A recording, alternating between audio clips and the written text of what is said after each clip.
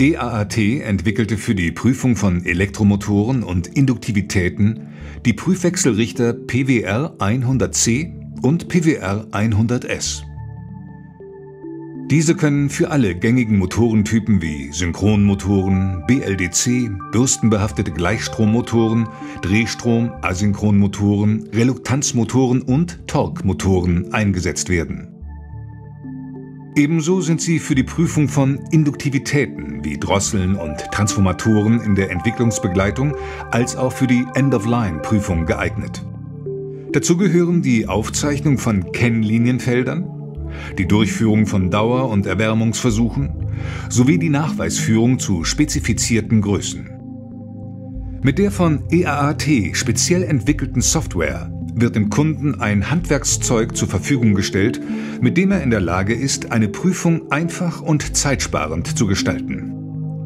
Die für die Prüfung erforderlichen Parameter können im Prüfwechselrichter gespeichert werden und stehen dem Nutzer jederzeit zur Verfügung. Somit ist der Wechsel der Prüfung auf verschiedene Motorentypen ohne größeren Zeitaufwand möglich.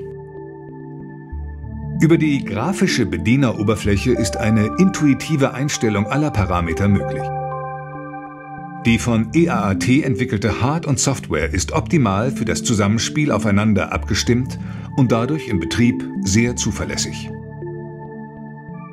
Alle gängigen Motorentypen können über die Schnittstellen des PWR 100 angeschlossen und konfiguriert werden. Grundlegende Schutzfunktionen sind standardmäßig implementiert.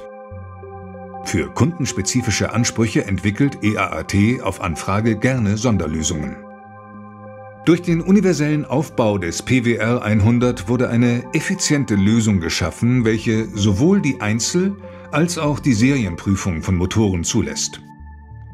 Bei der zunehmenden Automatisierung in allen Industriezweigen ist der Einsatz von geprüften Motoren eine Voraussetzung für Verfügbarkeit, Zuverlässigkeit und Langlebigkeit. EAAT bietet einen hochwertigen Prüfwechselrichter für den weltweiten Einsatz. Made in Germany.